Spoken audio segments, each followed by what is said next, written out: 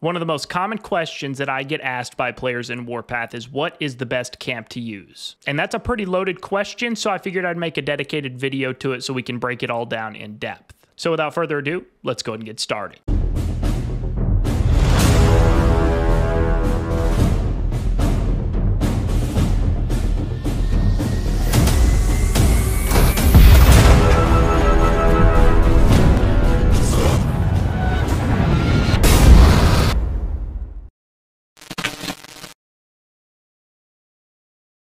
Welcome back guys. Before we get the video kicked off, if you guys find value out of this video or any other video on the channel, make sure you guys like this video, subscribe to the channel so you never miss any future uploads, and let's try to get this video to at least 150 likes. Let's go ahead and jump right in and start talking about the three camps. So we have three camps in Warpath. We have got the Martyrs Watch camp, we've got the Liberty camp, and we've got the Vanguard camp. And like I said, one of the most common questions I get from you guys is what is the best camp in Warpath? And that's a pretty loaded question. And the reason that's a loaded question is because there is not one clear cut answer. And all three of these camps offer some unique units that can play a role and that can be a big benefit to you depending on your playstyle. However, there is one camp in particular that has a little bit more versatility than any of the other camps and it also seems to do just a little bit better in most scenarios. And that is going to be the Liberty Camp. Now, I'm giving you guys the answer on the front end, but we are going to talk about this a whole lot more in depth as we go, and we're also going to be talking about camp buffs and different things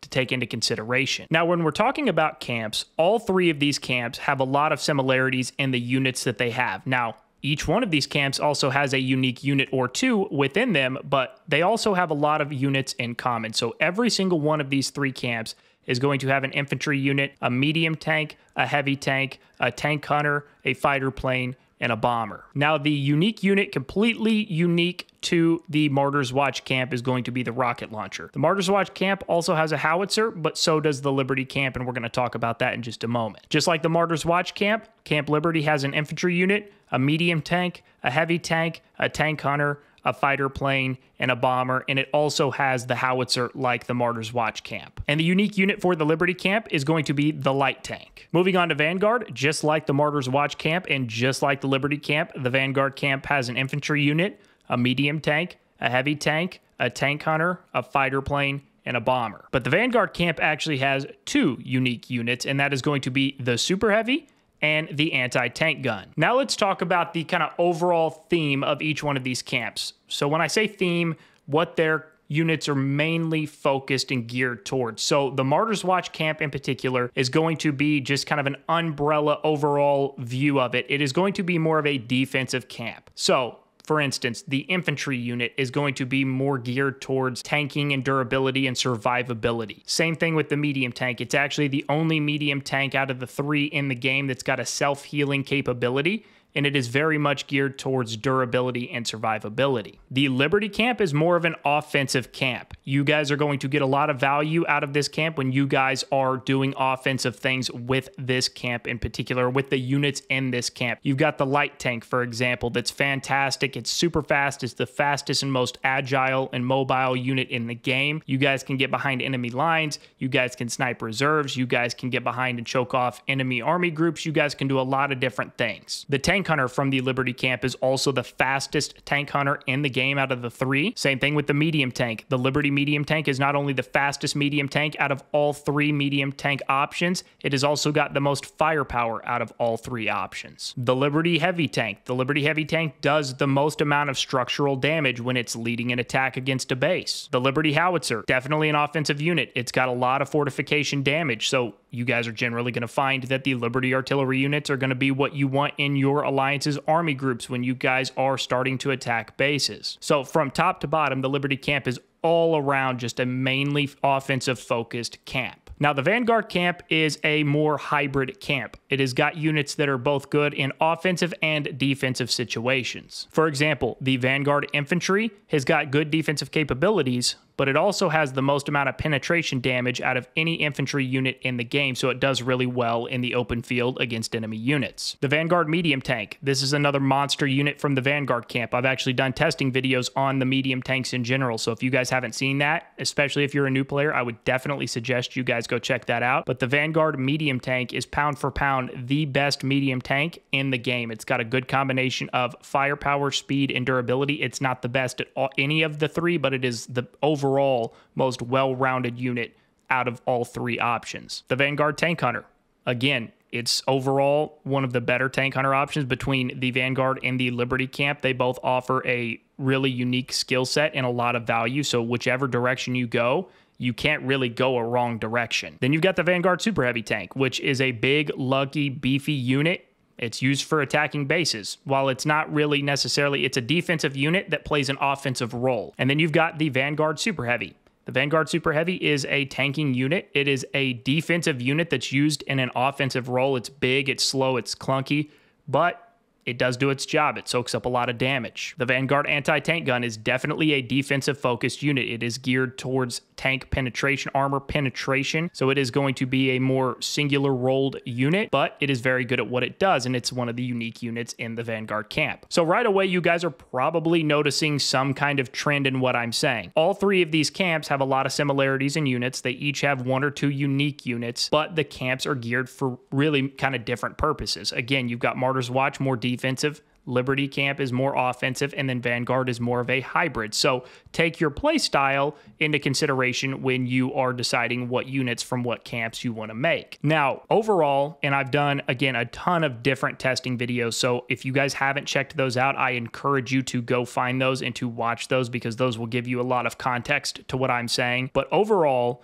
pound for pound, the Martyrs Watch camp is the single worst camp out of the three. Now, that doesn't mean that all of the units in the Martyrs Watch camp are bad. So, for example, when I did my, my uh, medium and main battle tank testing videos, I tested all three of the camps. I tested their medium tanks against each other. It was a clear cut, Martyr's Watch was the worst out of the three when engaging in combat with other medium and main battle tanks. Same thing with the Tank Hunter from Martyr's Watch camp. I've done a Tank Hunter slash helicopter uh, testing video. Martyr's Watch did the worst. It performed the worst out of the three camps. The Martyr's Watch, when you go, and I've done testing videos, side by side comparison videos with the Martyr's Watch howitzer and the Liberty howitzer. The Liberty is better. It just seems like everywhere you turn pound for pound, the Martyr's Watch camp is the worst out of the three, but that doesn't doesn't again mean there's not some value here. For example, the Martyr Watch Fighter, it's not great, but it does have a role that it plays and it does it well. The Martyr Bomber is a very high end unit. It is one of the best units in the game, especially specifically speaking to Air Force bombers specifically. In my opinion, it's probably the most well rounded bomber there is. The Liberty is probably neck and neck with it.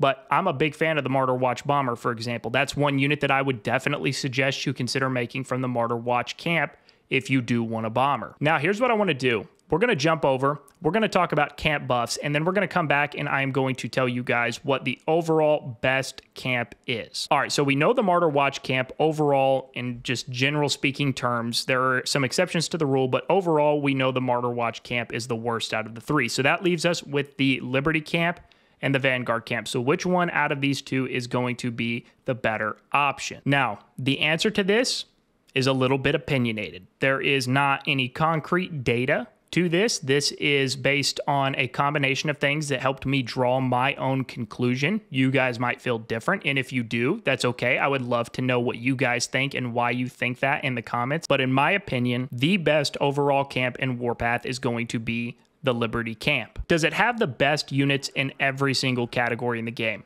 No. Definitely not. Like I said, for example, the Vanguard medium tank was absolutely a clear cut winner. It was king of the hill in terms of the medium and main battle tanks, period. Same thing with the tank hunter, right? That now the tank hunter wasn't a clear cut answer. I, when I did my testing video, I basically ranked the Liberty uh, tank hunter and slash helicopter and the Vanguard tank hunter slash helicopter as basically 1A and 1B because the results were so neck and neck that it was hard to really say, okay, this is the clear cut better option. Both are fantastic. The Vanguard fighter plane compared to the Liberty fighter plane, the Vanguard fighter plane is better.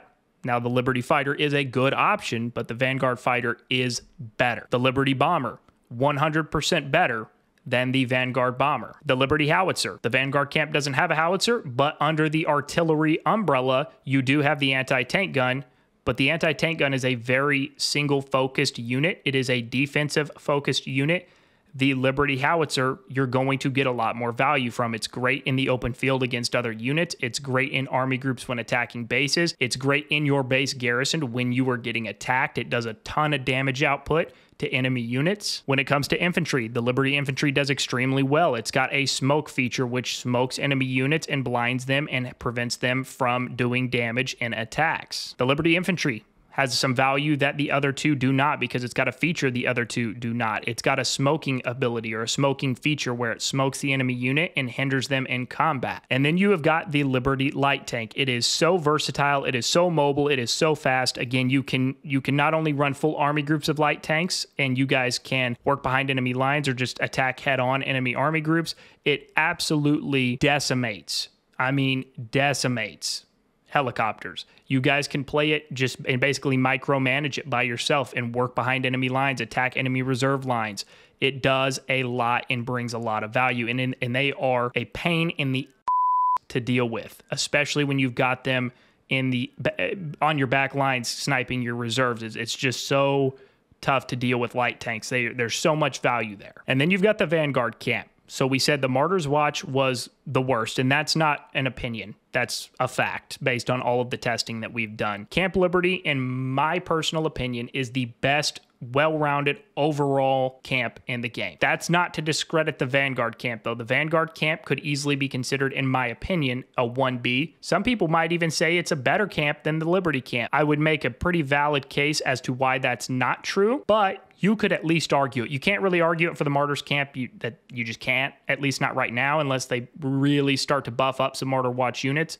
But you could definitely make the case for the Vanguard camp. But if you were going to start with either of the two, you're going to get a lot more versatility and value, at least right out of the gate with the Liberty camp. The Vanguard camp is still a great camp. But some of the key units that you guys do want to focus on, if you guys are interested in building units from the Vanguard camp, and to be honest, you're going to have to build units from all three camps. We're going to talk about that here in just a minute on why. But some of the key key units from the Vanguard camp are going to be the medium tank for sure, the tank hunter for sure, the fighter plane for sure. Those are the three big, big value units from the Vanguard camp. You can definitely have a anti-tank gun conversation simply because it does have an anti-aircraft feature which is good in army groups in the open field, but it is still limited in its versatility and value. But it's not a bad unit by any means. Now let's talk about camp buffs because camp buffs are real and camp buffs can help your units a lot. But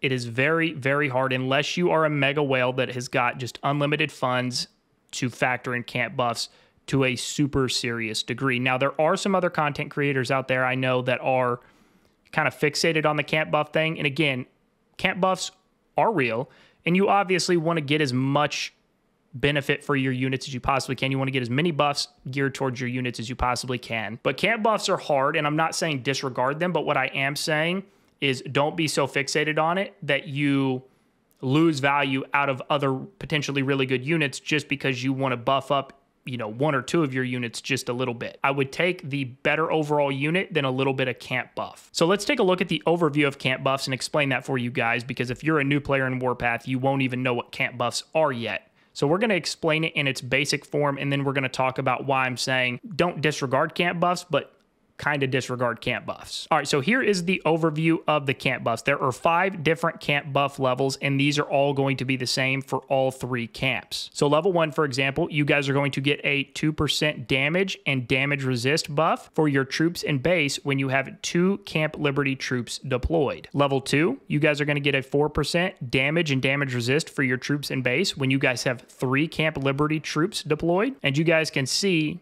as it goes down, once we get to level 5, there's going to be an 18% damage and 18% damage resist for your troops in base when you have six Camp Liberty troops deployed. Now, that's huge, right? Like I said, I'm not trying to discredit camp buffs, and I'm not saying that you shouldn't try to get the most amount of camp buffs that you possibly can. But unless you're a mega whale, it's going to be really, really hard to have six or more units from the same camp that are all super developed and super viable, especially when you get to modern units. And why do I say it gets really hard to factor in camp buffs when you get to modern units. That's because you have to have prototype pieces to develop your modern units. And I've got videos dedicated to showing you guys how to build 9.2 units and everything. I might make an updated one at some point here, but just for the basic conversation, to develop modern units, so classic units are going to be ranged from the three star unit all the way up to the 7.2 star unit. Modern units, we'll click on the, we'll just click on the infantry here, for example. Modern units are going to be from 8 star all the way to 9.2 star. At least that's as far as it goes in the game currently. That may change down the road at some point, but currently in the game, the highest modern unit that you can get is a 9.2 star version. But to upgrade the modern unit versions of a unit, you guys are going to have to have prototype pieces. And the only way to get prototype pieces, or I should say the main way to get prototype pieces, is going to be by disassembling your units. So you guys can see I've come over into the disassembly plant just to give you guys an example of what I'm talking about. So we are in the advanced dis disassembly section. You guys can see it says disassemble 7 through 7.2 star units to earn prototype pieces for their camp. Disassembling a unit will refund all resources you invested. So let's click on the Martyr's Watch medium tank, for example. So if I was to disassemble this, that means that I am basically going to totally destroy this unit. And if I want to build it again, I have to start completely from scratch again. But when I do that, in return, I am going to get four Martyr Watch prototype pieces. If I click on the 7.1 version of the Martyr Watch Tank Hunter, you guys can see I'm going to get 12 prototype pieces. And then I will use this Liberty 7.2 unit as an example. If we click on that and I was to disassemble that, I am going to get 36 Liberty prototype pieces. Now, this is why it is so hard to get many camp buffs, especially when you get to modern units, because you can build all of these units, but if you actually want to develop and, and progress and upgrade your units through the modern star rankings, you guys are going to have to break down other units from that same camp to get prototype pieces. So it's really, really tough to keep all of these units actually built up and then to still be able to develop modern units at the same time. Now, I know if you guys are brand new into the game, that's this is not making a lot of sense because you don't know the full modern unit development process yet. It will make it will it will start to make sense as you guys start to progress through the game.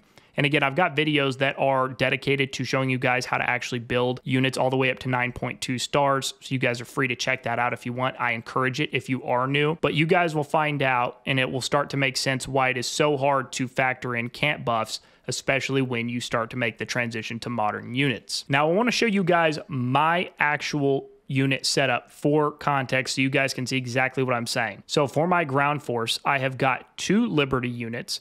I have got two Vanguard units, and then I have got one Martyr Watch unit. These are my five main units that are deployed and that I actually use in combat. So, like I was saying, I have a mix of all of them. Now, of course, this isn't my necessarily like most ideal setup. That will change over time as I build more units. But you guys get the idea that it's really tough to build a bunch of units from the same camp and to be able to actually maintain those units. So, it's going to get to a point for you guys where you have to ask yourself, okay, do I want two or three 9.2 star units, for example? Or do I want to have like one 9, 9.2 star unit and the rest of them are like six star units just for camp buffs because you can't build, you could build units from other camps because you can get prototype pieces for them, but you're not able to get prototype pieces for the Liberty camp because you're trying to just factor in camp buffs, it gets really hard, right? So the question becomes do I want one really good unit that's got some camp buffs, or do I want a few really good units with a little bit less on the camp buff? For me, that's an easy answer. I'm taking the better units because the better units are going to get me more overall value than just a extra uptick in camp buffs. Again, I'm not discrediting the camp buffs, but I'm going to get more value from having three 9.2 star units fully maxed out than I am one 9.2 star unit that's got, let's say, I don't know, I'm just throwing a number out there, it's got like eight extra percent damage and damage resist. You know, that's kind of the trade-off you're gonna have to ask yourself is do you want the more camp buffs or do you want the overall better units? And then the same thing with my Air Force. You guys can see I've got a Vanguard fighter plane, I've got a Martyr Watch fighter plane, and a Martyr Watch bomber. So I've kind of got a hodgepodge of mix and match to the best of my ability to get what I want and what I need, but to also make it make sense for prototype pieces. Let me know what you guys think. I'm sure some of you guys have a different uh, opinion or a view on some of the things we've discussed in this video. Like I said, it's a clear cut. It's it's really not even up for debate that the Martyr Watch camp is is the worst. I mean, it really is. That's not to say every unit in the Martyr Watch camp is the worst, but overall the camp is the worst. The Liberty camp, in my personal view, is the best overall camp in the game. So if you are a new player in Warpath, I would definitely suggest you start building units in the Liberty camp right out of the gate Vanguard Camp is a very close second for me. Some of you, it might be your first choice, and that's okay. But for me, and if I'm going to suggest anything to you guys, especially if you are a new player and looking for some direction, I would tell you to 100% prioritize the Liberty camp. Without a shadow of a doubt, you're going to get a lot of value, and it is going to be a camp that's got units that are going to be viable to you in the early game, mid game, and late game. Thank you guys for sticking around and watching this video. If you guys have made it this far into the video, if you guys have access to Discord and are not already in our community Discord server, the link to that is going to be in the description of the video. Whether you are a new player and have questions, want to learn, whether you're a veteran player and you just want to come hang out with more people in the community, doesn't matter. Absolutely everybody is welcome. Thanks for hanging out with me in the video today, guys, and we'll catch you guys on the next one.